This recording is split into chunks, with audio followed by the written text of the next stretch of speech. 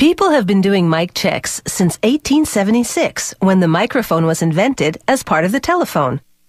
Microphones convert sound to a signal that can be transmitted through televisions, radios, and many other things. If you have something to say, you'll need a microphone to broadcast it.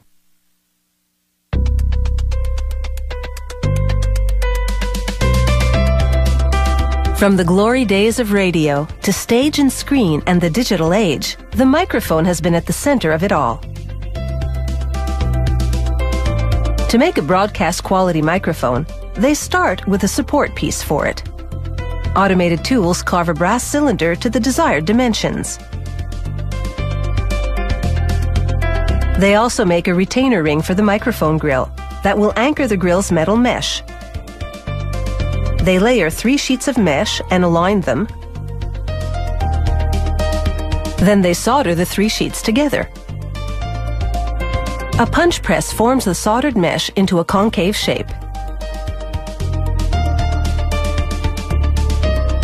They lower a blade to slice the shaped mesh in half. The two pieces will be used to make one microphone grill.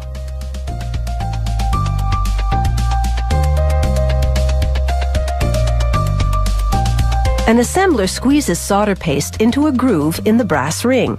Then he presses the grill halves, which have been joined by a bracket, into the solder-coated ring. On a carousel, a torch heats the rings and the solder paste melts to bond the grills to the rings.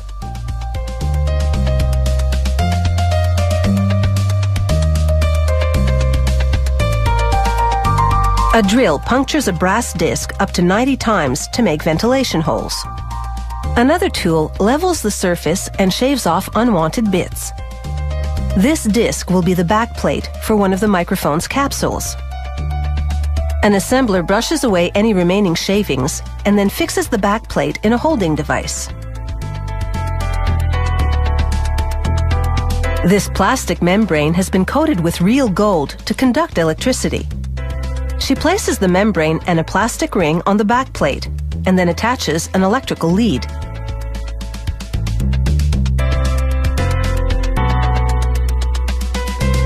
She screws the plastic ring down to secure the assembly.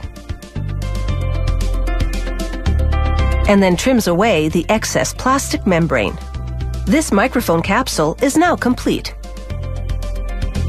Next, she'll join two capsules to create the unit that's the heart of the microphone.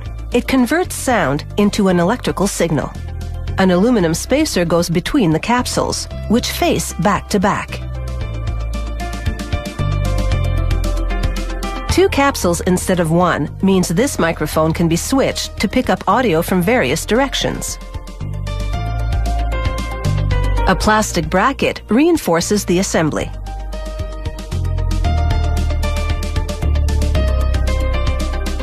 A technician then wires the brass support piece that we saw being made earlier to the electronics system, and then he secures it with screws.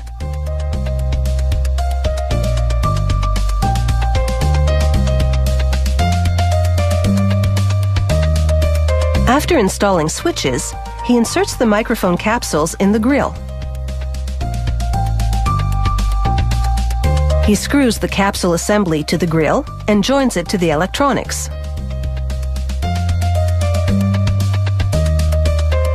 He slides the metal casing over the electronics and secures the microphone with a big screw cap.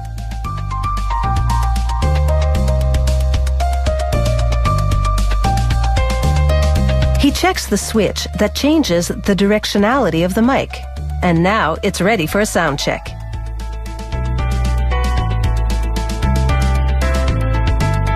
The mic goes into a special anechoic chamber. A computer measures its response to various audio frequencies and directions.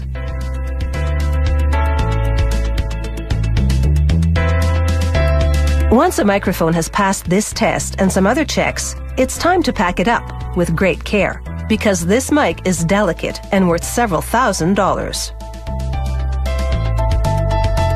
Treated properly, this microphone should last several decades. In showbiz, that's longevity.